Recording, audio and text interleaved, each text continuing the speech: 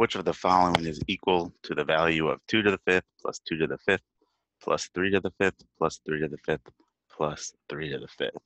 So if you're unsure what to do here, you can think of this. Just imagine that this just said, what is the value of x plus x plus y plus y plus y, uh, where x is equal to 2 to the fifth and y is equal to 3 to the fifth.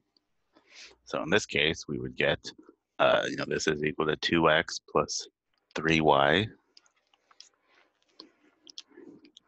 What is that? So in our case, that would be 2 times 2 to the fifth plus 3 times 3 to the fifth. And we could think of this as 2 to the first times 2 to the fifth and 3 to the first times 3 to the fifth. So multiplying exponents with the same base, we just add the powers. So this is 2 to the sixth plus 3 to the sixth. C.